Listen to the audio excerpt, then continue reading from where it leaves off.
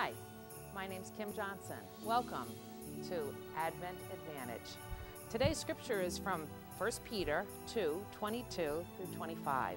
Speaking of Jesus, it says, He never sinned, nor ever deceived anyone.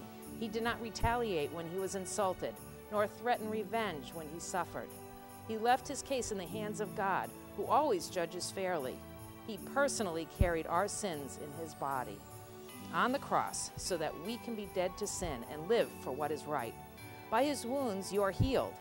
Once you were like sheep who wandered away, but now you have turned to your shepherd, the guardian of your souls. I brought a candy cane today, something that we see a lot of during this season.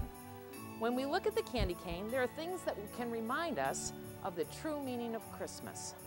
First, if you turn the candy cane upside down like this, it's in the shape of a J.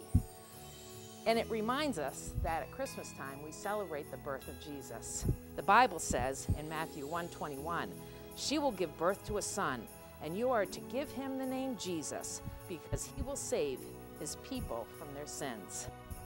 Secondly, when you look at the candy cane like this, it looks like a shepherd's staff.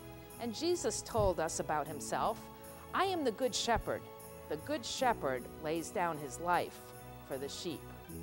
Thirdly, the thing to notice on the candy cane is the white stripes, and white represents purity.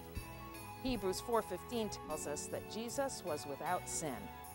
He came to be the sacrifice for our sins so that we can become white as snow. In Isaiah tells us, "Come now, let us reason together," says the Lord. Though your sins are like scarlet, they shall be white as snow. Though they are red as crimson, they shall be like wool. The fourth reminder on the candy cane is the red stripes. The Bible tells us that before Jesus died on the cross, he was beaten.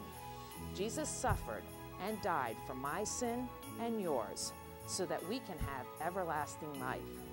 John 3:16 says, "For God so loved the world that he gave his only begotten son, that whosoever believes in him, that's Jesus, will not perish, that means separation from God for all eternity, but have everlasting life. So next time you see a candy cane, remember that Jesus gave you the most wonderful gift, Himself. Have a very Merry Christmas from all of us here at Crossroads Community Church.